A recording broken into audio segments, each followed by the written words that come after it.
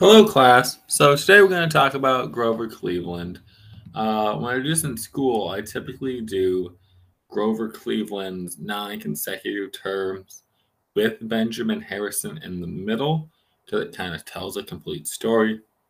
Uh, but for the sake of a video, I'm going to do Grover Cleveland as a standalone map. So Grover Cleveland was born March 18th, 1837 and he died June 24, 1908, at age 71. His home state is the state of New York. By matter of religion, he's Presbyterian. And then for family, um, I put complicated.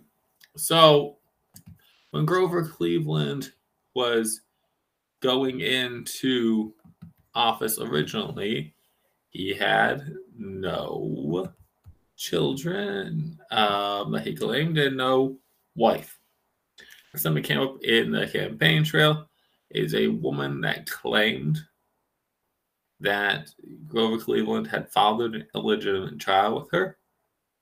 And while Grover Cleveland denied this claim, he took financial responsibility for the child and, and paid for their stuff, their stuff. So basically, like child support.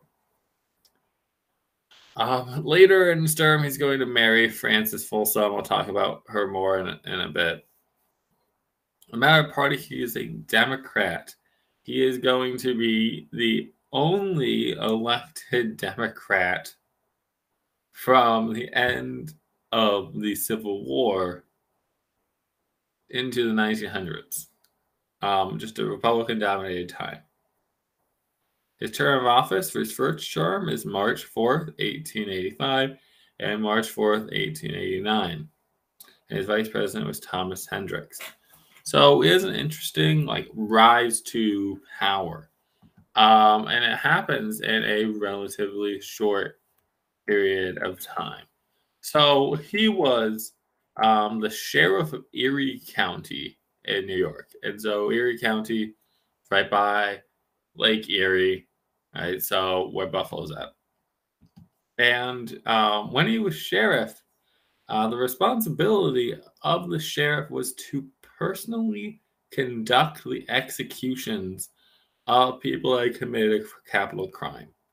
So, as sheriff of Erie County, Grover Cleveland personally conducted two executions as the executioner pretty unique among American presidents.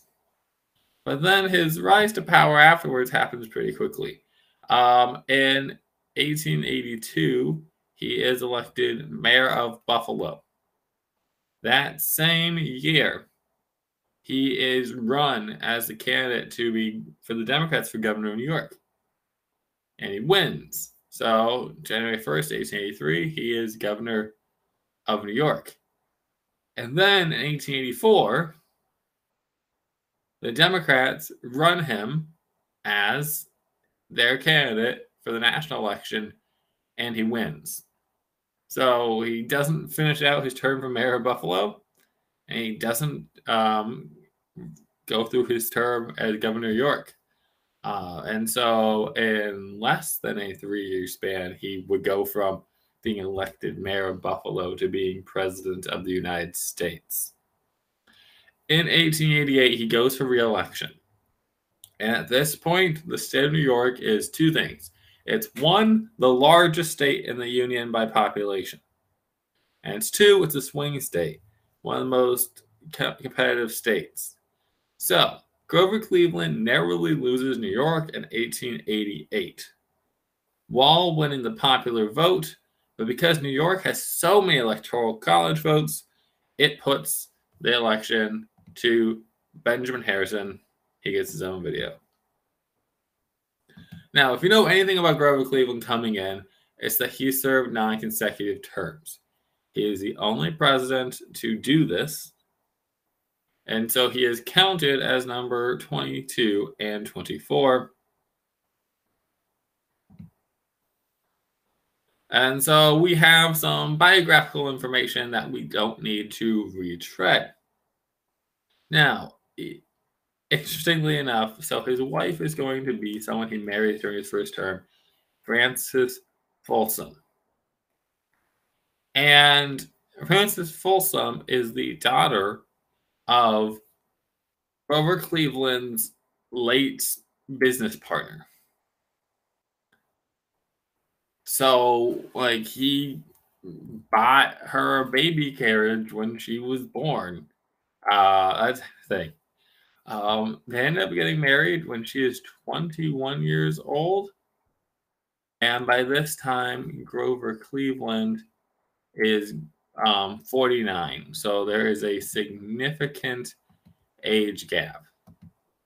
And one of the children they're going to have is Ruth Cleveland.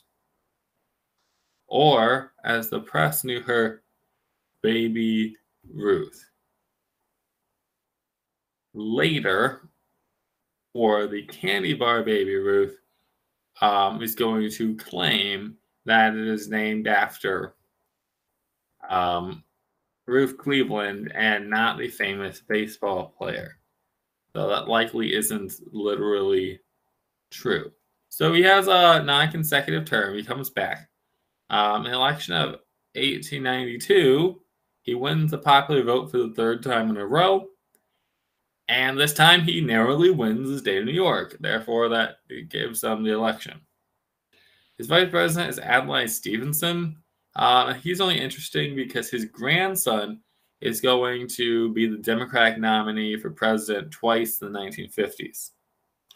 So, Grover Cleveland's thing he's most well known for is that he had these non consecutive terms. He also was constantly vetoing bills. He didn't like what he would call pork. It's unnecessary extra spending going back to a lot of the districts of the representatives. So when he had a democratically controlled Congress, he was vetoing things. When the Republicans took power, he was vetoing a lot of things. Um, so he had 414 vetoes.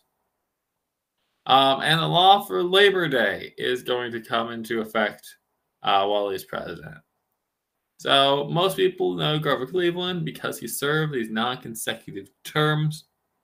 Uh, but he was also, uh, you know, someone that fought against um, unnecessary spending and political corruption while he was president of the United